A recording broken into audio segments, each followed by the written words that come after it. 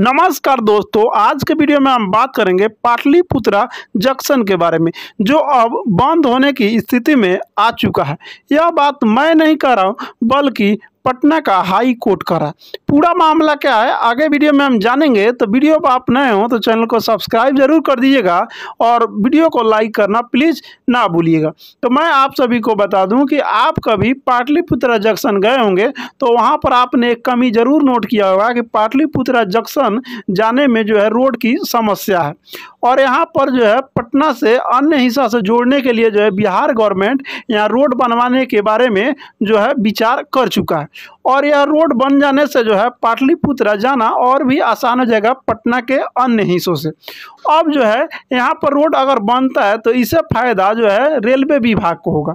तो बिहार गवर्नमेंट को बोल रहा है कि अगर हम रोड बनवाते हैं तो इससे फ़ायदा जो है रेलवे को होगा। तो रेलवे भी इसमें जो है हमको हिस्सेदारी दे और आधा पैसा हमको दे कि हम यहाँ पर जो है रोड बनवा अब देखिए, रेलवे कह रहा है कि रोड बनवाना हमारा काम थोड़ी है। यह तो काम जो है राज्य सरकार की है और राज्य सरकार इसे बनवाए अब मामला यह जो है कोर्ट में चला गया और कोर्ट में यह मामला का सुनवाई करते हुए जस्टिस ने कहा कि देखिए, इससे अगर यहाँ पर अगर रोड बन जाता है तो फ़ायदा तो रेलवे को होगा। तो इसमें जो है यहाँ पर रोड बनवाने का जो है यानी हक है, वह जो है रेलवे को है, क्योंकि फ़ायदा रेलवे को होगा।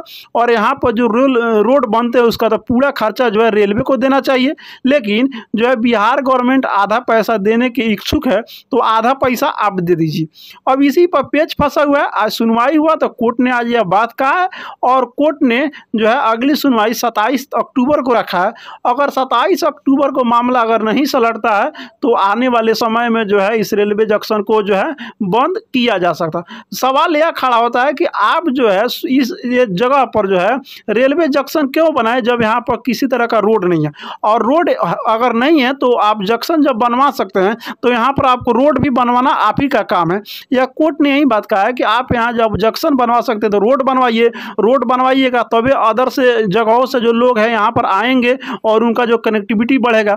तो इसी पर जो है, कोर्ट ने कह दिया है कि अगर यह अगर जंक्शन के आसपास अगर रोड नहीं बनते हैं, अगर इसे कनेक्टिविटी रोड से नहीं होता है जंक्शन का तो इस जंक्शन को यहाँ रहने से क्या फ़ायदा है? तो इसको बंद भी कर दिया जाए।